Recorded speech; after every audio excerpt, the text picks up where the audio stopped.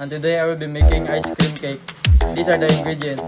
10 Fudgee Barr, 1 can evaporated milk, 1 small pack all-purpose cream, 2 sachet Milo.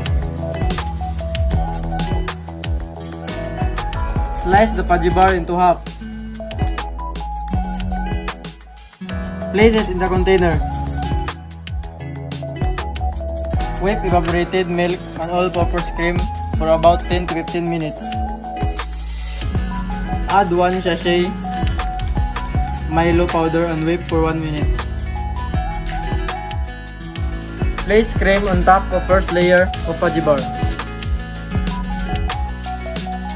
Add second layer and repeat the process.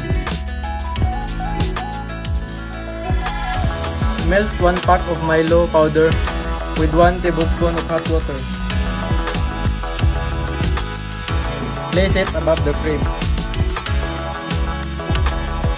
Then put it inside the freezer.